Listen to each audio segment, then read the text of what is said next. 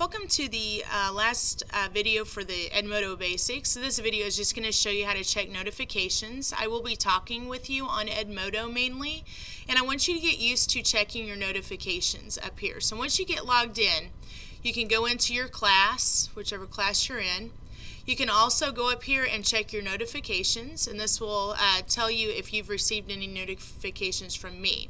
Now if you can't see the full post here you can always go into that assignment. So I commented to this student on their scorecard request.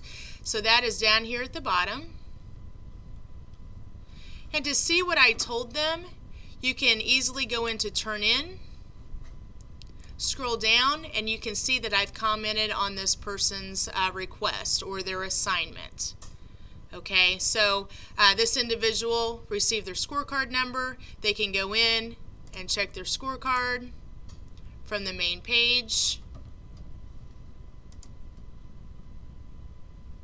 And they can see that they received credit for the first three assignments. And you'll notice if you can't see the number because the token covers it, I have placed the number of the assignment next to it.